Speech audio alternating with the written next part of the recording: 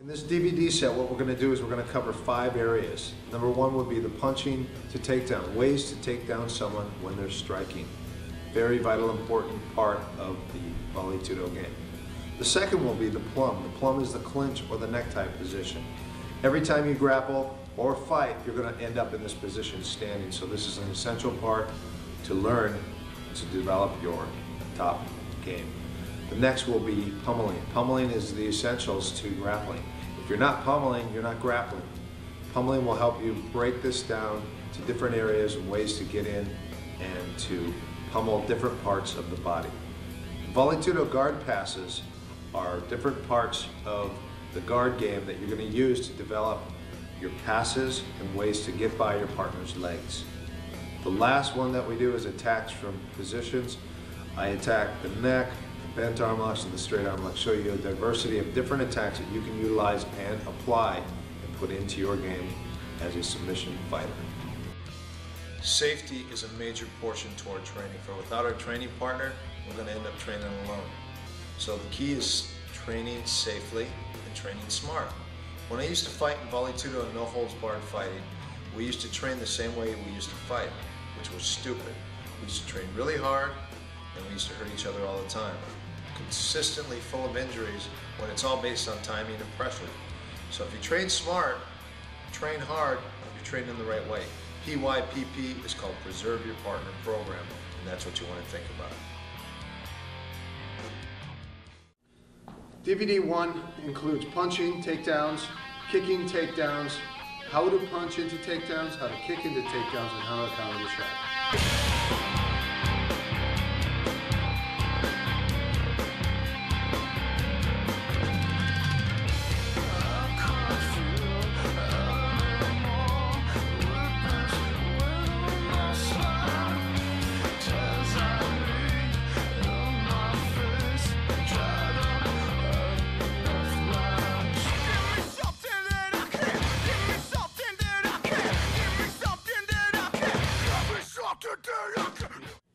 Okay, the first counter we're going to do is when Jeremy jabs me. What I want to do is I just want to slip to the outside. Slip to the outside. So if he's here, when he, when he throws a jab, look at my head just moves off. So what I do is I bring my left shoulder forward. So I keep my head down and bring my left shoulder forward. I want that forearm to graze my ear, like that. That's how I know that I slipped just enough to get into the body tackle position. Okay, so what I really want him to do is put that hand into my face and then slip it. So what I've got to do, if he just throws a flick jab and brings it back, this is harder for me to shoot.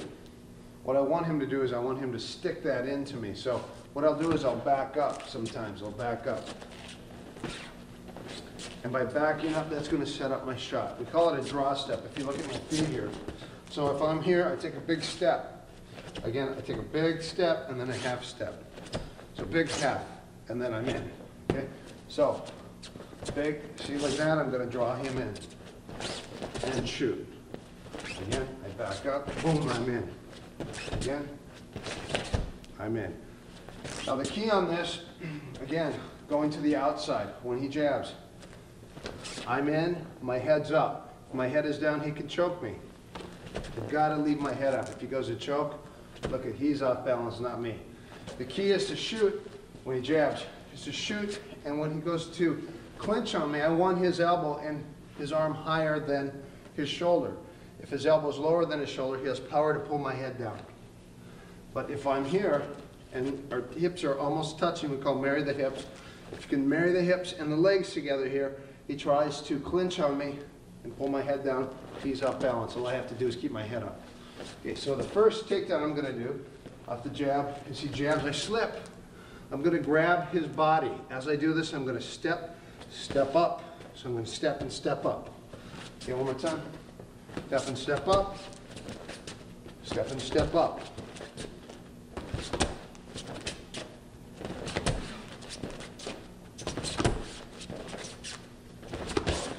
And take his back.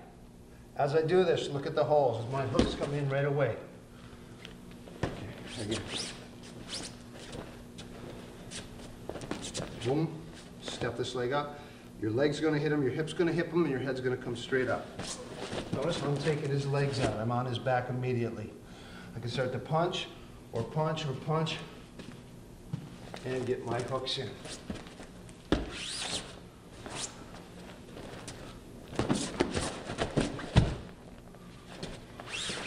From another angle, it's right here. Look at how fast this is. Boom, I'm in.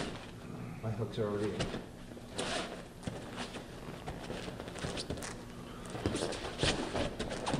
I'm on his back. Hooks will come in immediately, and I'm here to break him down and to punch. Okay, this next takedown will be a body tackle clinch, head outside with a leg hook. The leg hook just really forces him to the mat. You can use your hands to crumble.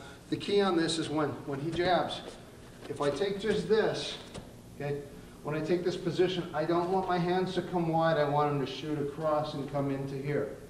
I want to break his hips in. And what's going to happen is I'm going to hook his leg here to really take his balance off. My head's got to be high. So when I really drive this, this goes straight to the mat right away. Not just because I'm hooking his leg, but also because I'm pulling his hips in. So when he jabs, I slip, and then my hook comes in, and we're down right away. When he jabs, I slip, hook. Now look where I'm at. I'm in half guard. I'll end up in half guard.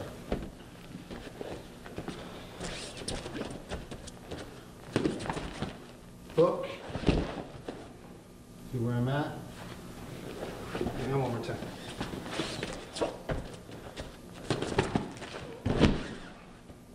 Okay. From another angle.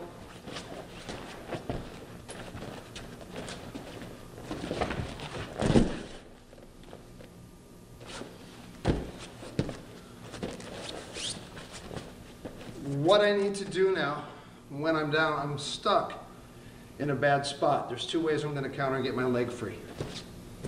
So when I go and take him here, see this? I'm immediately going to take this hand and underhook this leg. And when I do that, I'm gonna kick off, hold the leg, and come into a good holding position from here.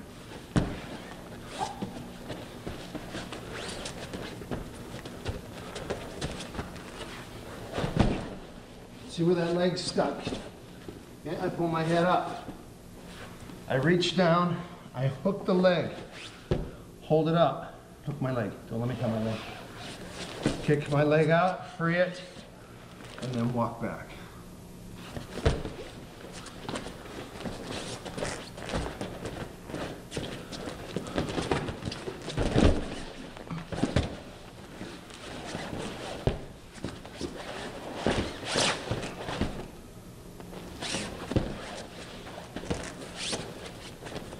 Second way to get your leg free is by bouncing my knee on his belly.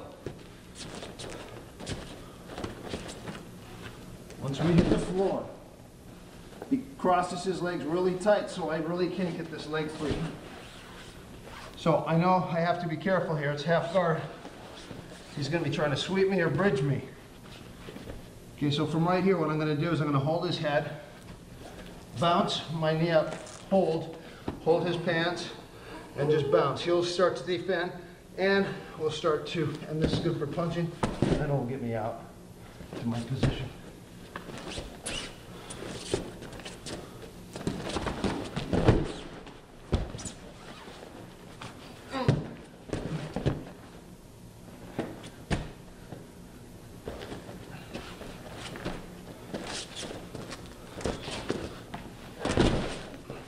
Control. He crosses his feet. Have a good base. Form his neck. Knee up, hold the head. This is good for hitting. Bounce. And free.